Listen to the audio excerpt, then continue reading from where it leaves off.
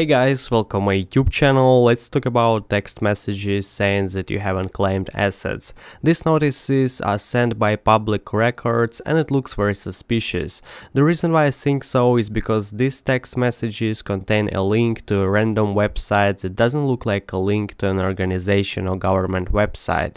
Also I doubt the text message is the proper way to tell someone that he has some unclaimed assets. If you really have such assets, you will get a letter with an official note Moreover, there are too many text scams right now, so it's not the right time to believe random texts from unknown companies.